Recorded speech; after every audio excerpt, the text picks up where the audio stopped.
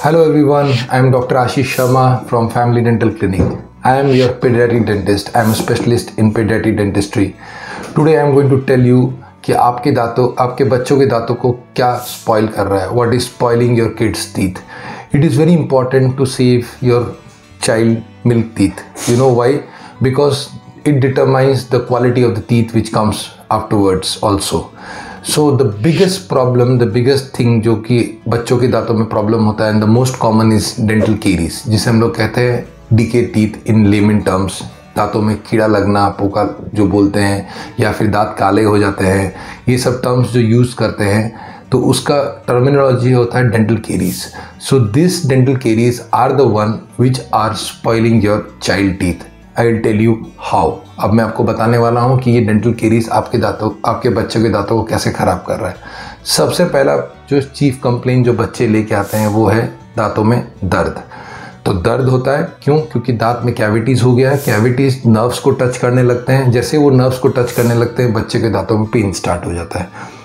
खाना फंसने शुरू हो जाते हैं फ़ूड लॉजमेंट जिसे कहते हैं, वो भी दो दांतों के बीच में अगर कैविटी होता है, तब खाना फंसना शुरू होता है and the child is not able to chew properly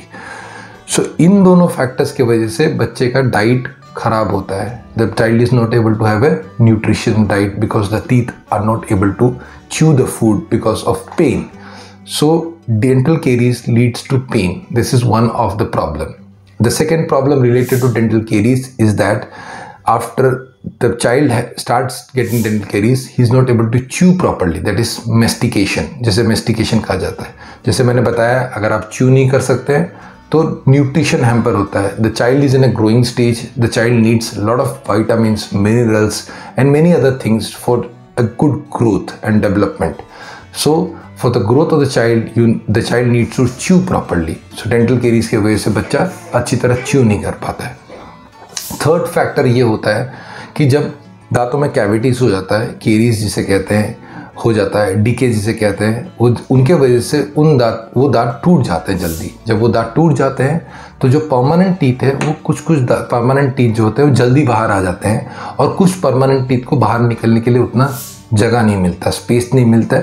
तो उसके वजह से दांत जो होते हैं, उनका अलाइनमेंट ठीक नहीं होता है, जिसे कहते हैं कि क्राउडिंग हो जाता है, जैसे कि कहा जाता है कि दांत मेरे टेढ़े मेढ़े हैं, क्योंकि बचपन में मेरा दांत जो है वो बहुत जल्दी टूट गया था। So that is the reason the basic reason for that is dental caries